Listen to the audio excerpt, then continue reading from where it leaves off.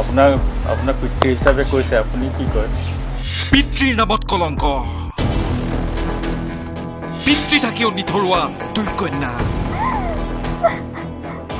সন্তান জন্ম দিলে পালন নকৰিলে পৈতৃক দায়িত্ব। আৰক্ষী থানাত আহি সুৰা সুৰে উচুপি উঠিল দুই কন্যাই। জন্ম দিওঁতে এবাৰো নাভাবিলে তেতিয়ালৈকে। তেতিয়া যেতিয়া পাছত আমাৰ আমাৰ গাত কি ভুল আপুনি পেলাম মই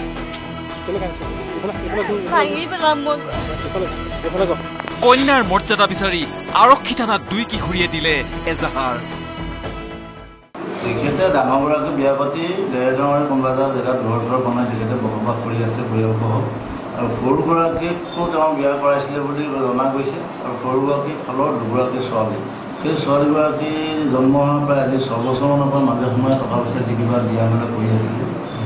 বাপেকে কোনো দায়িত্ব নলয় সেই সংক্ৰান্ততে তেওঁলোকে মানে নিৰাপত্তাহীনত ভুগিলে।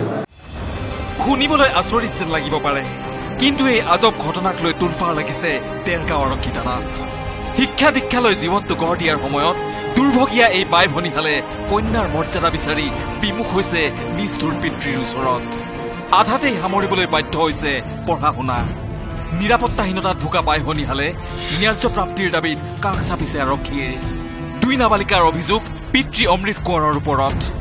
বিগত ছবছৰ ধৰি কন্যা দুগৰাকীক ফুটা কৰি এটাও দিয়া নাই নিষ্ঠুৰ পিতৃ অমৃত কোঁৱৰে। মাতৃৰ অসহায়তা তথা পিতৃৰ অৱহেলাৰ বাবে চৰম নিৰাপত্তাহীনতাত ভুগি আৰক্ষীৰ কাষ চাপিবলৈ বাধ্য হল এই দুগৰাকী কন্যা। তেওঁলোকে পঢ়া শুনা একো দায়িত্ব একো লোৱা নাছিলে। এতিয়া আমি যেতিয়া ইমান কষ্টত পঢ়িবলগীয়া হৈছে কলেজো এৰি দিবলগীয়া হ'ল দেউতাজহৰ আৰু এতিয়া যেতিয়া আমি দেউতাক মানে প্ৰাপ্যটো খুজিছোঁ পেঞ্চনৰ পইচা কিন্তু দেউতাই এতিয়া মানে আমাক কৈছে নিজৰ জীয়েক নহয় বুলি কৈছে। পিতৃৰ ওচৰত কন্যাৰ মৰ্যাদা বিচাৰি ডেৰগাঁও থানাত দাখিল কৰা এজাহাৰৰ ভিত্তিতেই আৰক্ষীয়ে ৰুজু কৰিলে গোচৰ। গোচৰ ৰুজু কৰাৰ পিছতেই নাবালিকা দুগৰাকীক লৈ ডেৰগাঁও আৰক্ষী হাজিৰ হল পিতৃ অমৃত কোঁৱৰৰ ঘৰত। কিন্তু আৰক্ষীৰ উপস্থিতিটো পিতৃয়ে চিনি নোপোৱাৰ ভাও ধৰিলে নিজৰেই দুই কন্যাক।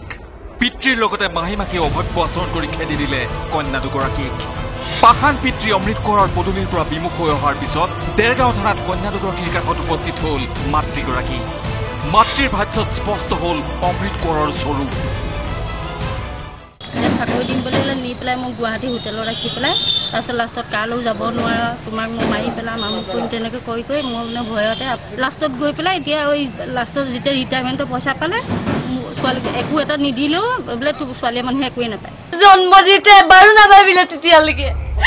একাদশ অসম আৰক্ষী বেটেলিয়নত চাকৰি কৰি থকাৰ সময়তে ঊনৈছশ আঠানব্বৈ চনত দ্বিতীয় বিবাহ কৰাইছিল অমৃত কোঁৱৰে।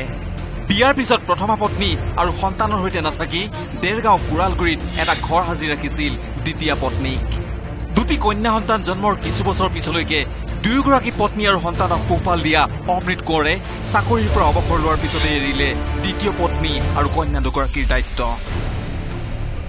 নিষ্ঠুৰ পিতৃৰ ওচৰত কন্যাৰ মৰ্যাদা বিচাৰি গৈ বিমুখ হোৱা নাবালিকা দুগৰাকীক ন্যায় দিয়াৰ লগতে উপযুক্ত ক্ষতিপূৰণ দিয়াৰ দাবী তুলিছে স্থানীয় দল সংগঠনে।